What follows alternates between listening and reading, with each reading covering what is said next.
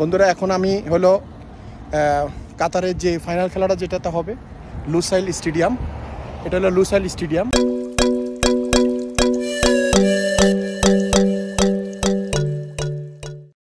Hello বন্ধুরা, আসসালামু আলাইকুম। ওয়েলকাম টু মাই চ্যানেল থামমেলের হেটিং এবং থামমেল দেখেই তো বুঝতে পেরেছেন যে আমি এখন কোথায় আছি এবং কোথায় যাচ্ছি।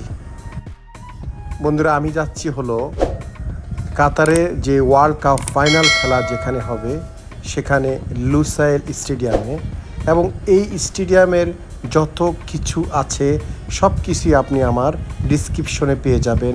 কবে থেকে এটার কাজ শুরু হয়েছে এবং কতজন এটার ক্যাপাসিটি সব কিছুই আমি আমার ডিসক্রিপশনে দিয়ে দিয়েছি। কারণ পুরোটাই আমার বলা সম্ভব না সেই কারণে আমি ডিসক্রিপশনে দিয়ে দিচ্ছি। তো বন্ধুরা, আমি অলরেডি চলে আসছি সেই লুসাইল স্টেডিয়াম এবং দেখতে থাকেন এত সুন্দর চোখ ভোলানোর মতো না। আসলে আমি যেতে পারি না সেখানে। আমি একটি হাইওয়েতে দাঁড়িয়ে এই ভিডিওটা করছি। তো দেখতে থাকুন বন্ধুরা।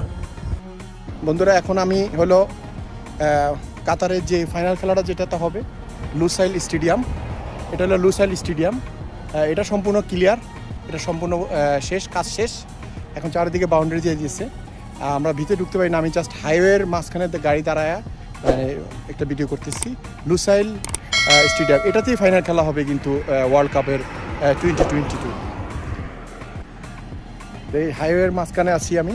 একবারে জাস্ট হাইওয়ে যে হাইওয়ে দিয়ে ঢুকলেই এই হইল আপনার স্টেডিয়াম যে লুসাইল স্টেডিয়ামটা খুব সুন্দর, বিশাল বড়। তা আমি দুঃখিত, আপনাদেরকে ভিতরে দেখাইতে পারি নাই। এই ছবিগুলো দেখেই বুঝতে পারবেন যে স্টেডিয়ামটা কীভাবে তৈরি হয়েছে এবং কত সুন্দর। আর এই স্টেডিয়ামটা তাদের পুরনো স্টেডিয়াম, এটা কোনো ওয়ার্ল্ড কাপের জন্য তৈরি হয়নি, এটা তাদের লোকাল স্টেডিয়াম। এবং কাতারের প্রতিটা ওয়ার্ল্ড কাপের স্টেডিয়ামই আমি আপনাদের মাঝে শেয়ার করব, আমার অন্য অন্য ভিডিওগুলোও আপনি দেখে নেবেন। তো আজকের ভিডিওটা পর্যন্তই, ভালো থাকেন, সুস্থ থাকেন, সুন্দর থাকেন, আসসালামু আলাইকুম।